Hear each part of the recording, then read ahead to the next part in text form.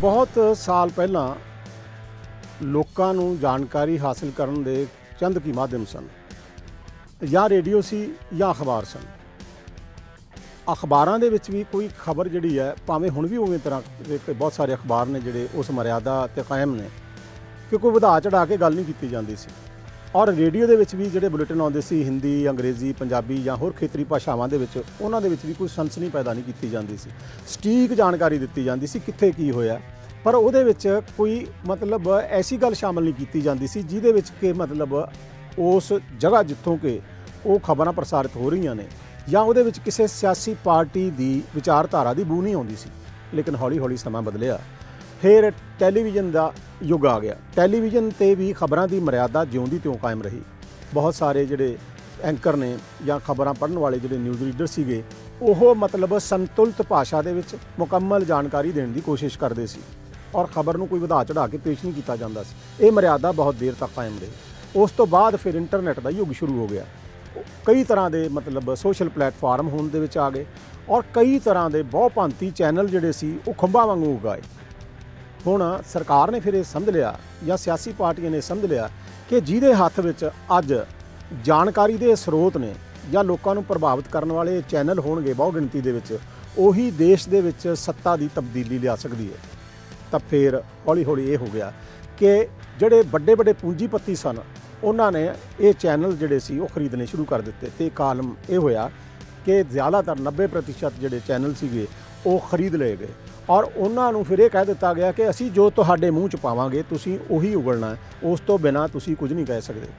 ਖਬਰ ਨੂੰ ਕਿਵੇਂ ਮੋੜਨਾ, ਖਬਰ ਨੂੰ ਕਿਵੇਂ ਤੋੜਨਾ, ਉਹ ਅਸੀਂ ਤੁਹਾਨੂੰ ਦੱਸਾਂਗੇ।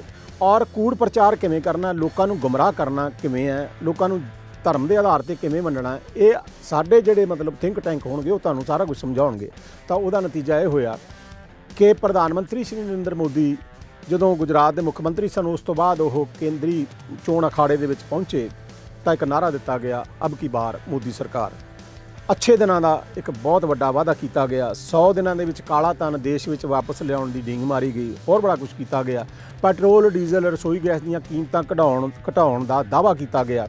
ਔਰ ਲੋਕਾਂ ਦੀਆਂ ਜੇਬਾਂ ਭਰਨ ਦੀ ਵੀ ਗੱਲ ਕੀਤੀ ਗਈ। ਔਰ ਇਹ ਵੀ ਕਿਹਾ ਗਿਆ ਕਿ ਆਮ ਆਦਮੀ ਜਿਹੜਾ ਹੈ, ਗਰੀਬ ਆਦਮੀ ਹੈ ਜਿਹੜਾ, ਉਹ ਹੁਣ ਜਹਾਜ਼ਾਂ 'ਚ ਸਫ਼ਰ ਕਰਿਆ ਕਰੇਗਾ, ਪਰ ਉਹਨੂੰ ਤੇ ਜਹਾਜ਼ ਦੇ ਨੇੜੇ ਨਹੀਂ ਕਿਸੇ ਨੇ ਟਿਕਣ ਦਿੱਤਾ। ਉਹ ਗੱਲ ਵੱਖਰੀ ਹੈ। ਵਪਾਰੀਆਂ, ਜਿਹੜੇ ਨਿਮਨ ਵਪਾਰੀ ਸੀ ਜਾਂ ਮੱਧ ਦਰਜੇ ਦੇ ਵਪਾਰੀ ਸੀ, ਨੋਟਬੰਦੀ ਤੇ ਜੀਐਸਟੀ ਨੇ ਉਹਨਾਂ ਦਾ ਬੇੜਾ ਗਰਕ ਕਰ ਦਿੱਤਾ ਔਰ ਨੋਟਬੰਦੀ ਦੇ ਨਾਲ ਜਿਹੜਾ ਕਾਲਾ ਧਨ ਵਾਪਸ ਲਿਆਉਣ ਦੀ ਡੀਂਗ ਮਾਰੀ ਗਈ ਸੀ, ਉਹਦਾ ਵੀ ਕੋਈ ਪਤਾ ਨਹੀਂ ਲੱਗਿਆ। ਕਿੰਨਾ ਕਾਲਾ ਧਨ ਵਾਪਸ ਹੋਇਆ, ਕਿੱਧਰ ਗਿਆ? 100 ਕਰੋੜ 100 ਜਿਹੜਾ ਸੀਗਾ ਦਿਨਾਂ ਦੇ ਵਿੱਚ ਵਿਦੇਸ਼ੀ ਬੈਂਕਾਂ 'ਚੋਂ ਕਾਲਾ ਧਨ ਲਿਆਉਣ ਦੀ, ਜਿਹੜਾ ਪ੍ਰਧਾਨ ਮੰਤਰੀ ਨੇ ਦਾਅਵਾ ਕੀਤਾ ਸੀ ਕਿ ਮੈਂ ਮੂੰਹ ਨਹੀਂ ਦਿਖਾਊਂਗਾ। ਤਾਂ ਉਹ ਵੀ ਗੱਲ ਜਿਹੜੀ ਸੀ ਬਿਲਕੁਲ ਜੁਮਲਾ ਸਾਬਤ ਹੋਈ। 15 15 ਲੱਖ ਵਾਲਾ ਜੁਮਲਾ ਤਾਂ ਸਾਰਿਆਂ ਨੂੰ ਯਾਦ ਆ, ਉਹਨੂੰ ਦੁਹਰਾਉਣ ਦੀ ਜ਼ਰੂਰਤ ਨਹੀਂ ਹੈ। ਤੋਂ ਇਹ ਸਾਰਾ ਕੁਝ ਕਿਹਨੇ ਕੀਤਾ? ਉਸ ਮੀਡੀਆ ਨੇ ਜਿਹੜਾ ਵਿਕਾਊ ਹੈ। ਇਸੇ ਮੀਡੀਆ ਦੇ ਵਿੱਚੋਂ ਇੱਕ ਚੈਨਲ ਚੋਂ ਇੱਕ ਪੱਤਰਕਾਰ ਜਿਹੜਾ ਹੈ, ਉਹਦੀ ਹਾਲ ਹੀ ਵਿੱਚ ਗ੍ਰਿਫਤਾਰੀ ਹੋਈ ਹੈ। ਔਰ ਇਹ ਕਿਹਾ ਜਾ ਰਿਹਾ ਕਿ ਦੋ ਸੂਬਿਆਂ ਦੀ ਪੁਲਿਸ ਜਿਹੜੀ ਆ, ਭਿੜੀ ਹੈ, ਕਿਉਂਕਿ ਉਸ ਨੇ ਰਾਹੁਲ ਗਾਂਧੀ ਜਿਹੜੇ ਕੁੱਲ ਹਿੰਦ ਕਾਂਗਰਸ ਦੇ ਸਾਬਕਾ ਪ੍ਰਧਾਨ ਨੇ, ਉਹਨਾਂ ਦੇ ਸਬੰਧ 'ਚ ਇੱਕ ਜਿਹੀ ਅਪਮਾਨਜਨਕ ਟਿੱਪਣੀ ਕੀਤੀ ਸੀ, ਜਿਹੜੀ ਕਿ ਜਗ ਜ਼ਾਹਿਰ ਹੋ ਗਈ ਔਰ ਉਸਨੇ ਮਾਫੀ ਵੀ ਮੰਗ ਲਈ ਕਿ ਠੀਕ ਹੈ, ਮੇਰੇ ਤੋਂ ਗਲਤੀ ਹੋਈ ਹੈ। ਲੇਕਿਨ ਇਹ ਹੈ ਕਿ ਉਸ ਤੋਂ ਪਹਿਲਾਂ ਜਿਹੜਾ ਐਂਕਰ ਸੀ, ਜਿਹੜਾ ਐਂਕਰ ਸੀ ਉਸ ਨੇ ਅਸਤੀਫਾ ਦੇ ਦਿੱਤਾ ਉਸ ਚੈਨਲ ਤੋਂ। ਇਹ ਕਹਿ ਕੇ ਕਿ ਮੈਂ ਆਤਮ ਚਿੰਤਨ ਕਰਨ ਤੋਂ ਬਾਅਦ ਇਹ ਫੈਸਲਾ ਲਿਆ ਕਿ ਮੈਂ ਹੁਣ ਤੁਹਾਡੇ ਨਾਲ ਕੰਮ ਨਹੀਂ ਕਰਾਂਗਾ। ਆਤਮ ਚਿੰਤਨ ਕਦੋਂ ਕਰਦਾ ਬੰਦਾ? ਆਤਮ ਚਿੰਤਨ ਉਦੋਂ ਕਰਦਾ ਬੰਦਾ ਜਦੋਂ ਗਲਤ ਹੁੰਦਾ। ਔਰ ਉਹ ਫਿਰ ਆਪਣੇ ਆਪ ਨੂੰ ਦਲੀਲ ਦਿੰਦਾ ਕਿ ਮੈਨੂੰ ਇਹ ਕੰਮ ਨਹੀਂ ਕਰਨਾ ਚਾਹੀਦਾ ਸੀ। ਯਾਨੀ ਉਹਨੂੰ ਤਾਂ ਇਹ ਸਮਝ ਆ ਗਈ ਕਿ ਮੈਂ ਹੁਣ ਤੱਕ ਜਿਵੇਂ ਮਤਲਬ ਆਪਣੇ ਵਿਕਾਊ ਜ਼ਮੀਰ ਨਾਲ ਉਸ ਤਰ੍ਹਾਂ ਦੀਆਂ ਖਬਰਾਂ ਜਿਹੜੀਆਂ ਕਿ ਨਹੀਂ ਦੇਣੀਆਂ ਚਾਹੀਦੀਆਂ ਸੀ ਉਹ ਦਿੰਦਾ ਰਿਹਾ, ਤਾਂ ਉਹਦੇ ਤੇ ਮੈਨੂੰ ਅਫਸੋਸ ਹੈ। ਹੁਣ ਇਸ ਵਿਅਕਤੀ ਨੂੰ ਗ੍ਰਿਫਤਾਰ ਕੀਤਾ ਗਿਆ ਔਰ ਉਸਨੇ ਕੀਤਾ ਕੀ? ਪਹਿਲਾਂ ਇਹ ਸਮਝ ਲਓ। ਰਾਹੁਲ ਗਾਂਧੀ ਨੇ ਇੱਕ ਟਿੱਪਣੀ ਕੀਤੀ ਕਿ ਮੇਰੇ ਦਫ਼ਤਰ ਦੀ ਜਿਨ੍ਹਾਂ ਨੇ ਭੰਨ ਤੋੜ ਕੀਤੀ ਉਹ ਬੱਚੇ ਨੇ। ਪਰ ਇਹ ਟਿੱਪਣੀ, ਉਹ ਬੱਚੇ ਨੇ, ਇਹ ਬੱਚਿਆਂ ਵਾਲੀ ਗੱਲ ਜਿਹੜੀ ਸੀ, ਉਦੇਪੁਰ ਦੇ ਉਹ ਦੋ ਕਾਤਲਾਂ ਨਾਲ ਜੋੜ ਦਿੱਤੀ ਗਈ ਕਿ ਉਹ ਬੱਚੇ ਨੇ। ਹੁਣ ਇੱਥੋਂ ਤੁਸੀਂ ਸਮਝ ਲਓ ਕਿ ਖਬਰ ਨੂੰ ਕਿਵੇਂ ਤੋੜਿਆ ਗਿਆ, ਕਿ ਜਿਹੜੇ, ਜਿਨ੍ਹਾਂ ਨੇ ਇੱਕ ਦਰਜੀ ਦਾ ਕਤਲ ਕੀਤਾ ਵੀ ਉਹ ਮੇਰੇ ਬੱਚੇ ਨੇ। ਇਹ ਗੱਲ ਜਿਹੜੀ ਹੈ, ਬਿਲਕੁਲ ਵੀ ਬਰਦਾਸ਼ਤ ਕਰਨ ਦੇ ਯੋਗ ਨਹੀਂ ਹੈ।